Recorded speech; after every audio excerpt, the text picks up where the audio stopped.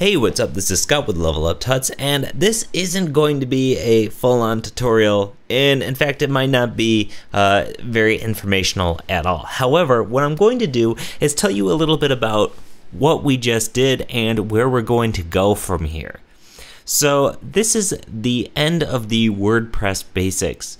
With the skills that you have from these past 20 or so videos, I think there's maybe like, this is maybe number 19, uh, we have made a post, made a page, we've added things to the menu, we've added on to WordPress with plugins, we've added on with widgets, we've downloaded and installed themes, and we've even updated a version of WordPress.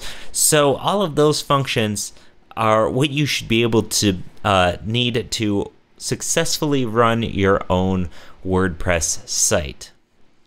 Now, from here, we're going to take it into a more customizing WordPress route. So the next few videos are going to be about the actual file structure, the files that are actually make up WordPress, right? Uh, what makes WordPress do what it does. And then from there, we're going to talk about theming. So we're going to build a theme from a parent theme, and then we're going to write our own theme from scratch. We're also going to be getting into editing templates along the way to add things like more widget zones and stuff like that. And then we're going to move on to advanced topics like writing your own plugins and truly understanding WordPress uh, and being able to completely control it, add on to it.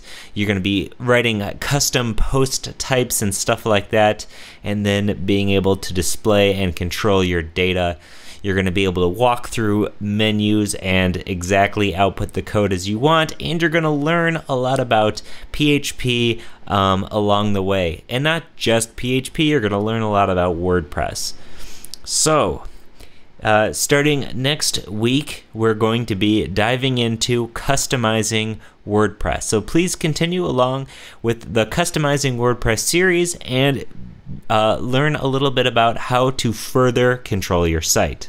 Also, if there's any topics you believe belonged in the WordPress Basics series that we didn't cover and you would like to see covered, please let us know and we will add on to the WordPress Basics series in addition to moving on with the Customizing WordPress series.